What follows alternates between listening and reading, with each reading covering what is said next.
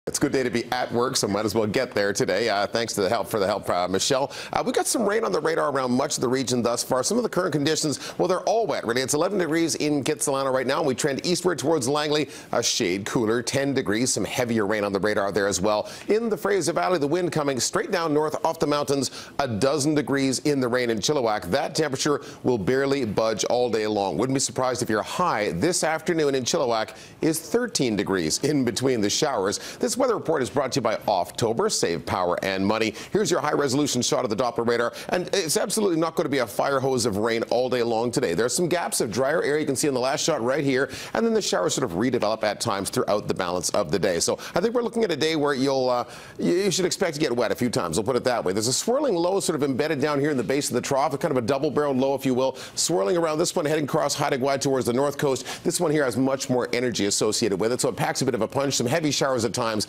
They will fizzle out during the night tonight. It actually leaves us with a workable day tomorrow. In the afternoon, it dries up. It's a very small chance of morning showers, drier Thursday afternoon. Just like that, the wettest day of the week will be Friday. That's heavier rain in the Friday forecast. Start to making some uh, alternate arrangements, maybe some indoor plans on Friday. You can take it outdoors this weekend and enjoy the fall conditions because the pattern will dry up Saturday morning. And I think from Saturday afternoon into the evening all through Sunday, it is a rain-free weather pattern for the lower mainland and starting to warm up a touch as well. 16 degrees Riaz by Sunday afternoon. We can live with that.